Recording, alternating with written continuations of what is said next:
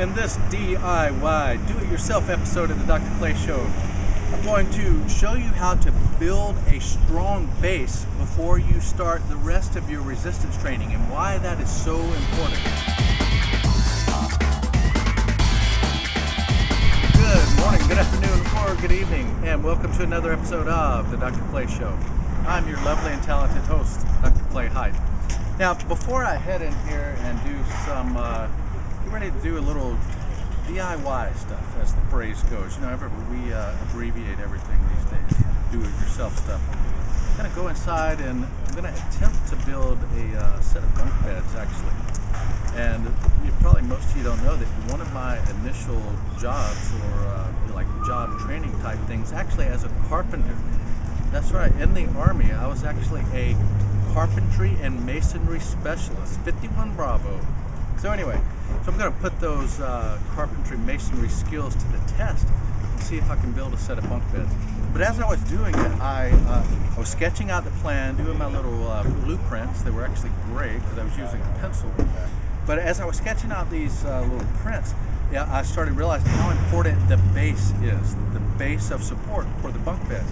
And that made me realize that I need to share with you guys how important building a strong base is to your body. And I was talking with one of my friends, old clients, the other day, and we were talking about how he's having some shoulder problems and on and off some lower back problems.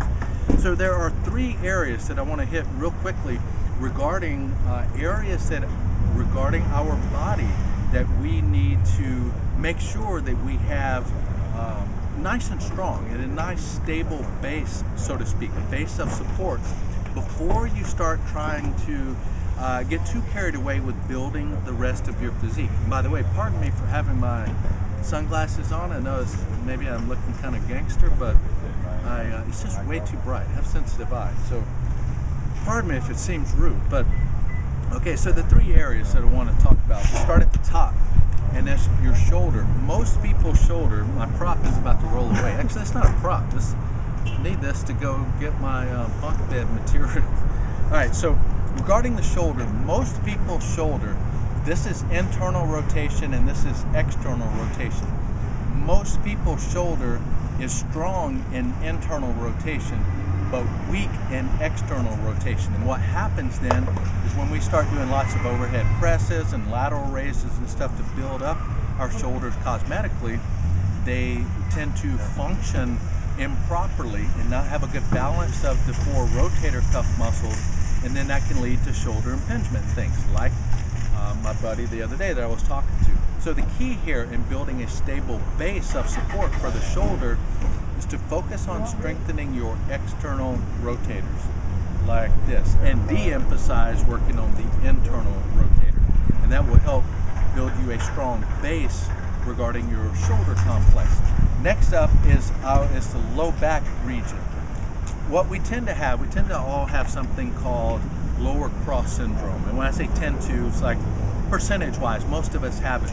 And that's characterized by weak abdominals and weak glutes, which allows our pelvis to rotate anteriorly. And you end up with too much of an arch in your back. And that can cause a lot of low back problems. Another friend of mine I was talking to the other day having very similar uh, problems, and she's not doing the rehab that it takes to get it better over time. The way you do that, by the way, is to strengthen your abdominals, strengthen your glutes, and then uh, focus on the flexibility of your hip and your uh, lower back. So you want to strengthen your abs, glutes, and then lengthen, so to speak, your low back and your hips. And that will give you, that will literally give you a good spinal base so that your pelvis is not tilted too far forward and your, you've got a nice, strong, stable base of support for the rest of your body to um, rest upon and move upon.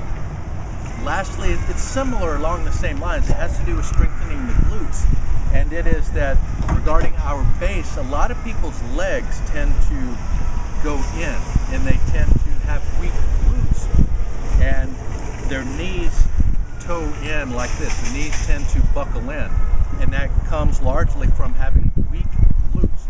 So if you strengthen your glutes, It will help you externally rotate your knees and your legs will therefore provide a better and more properly aligned base of support for your pelvis and the rest of your body.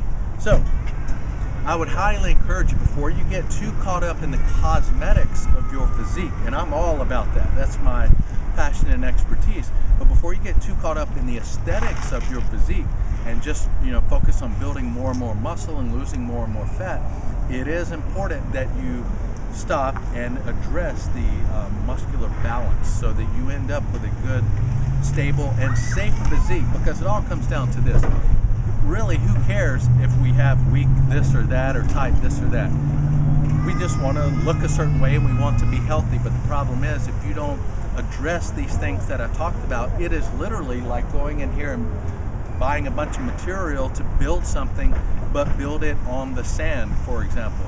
And you have to build whatever it is you're building, you've got to take time. You want to build it on a rock, on a sturdy foundation. You don't want to build it on the sand.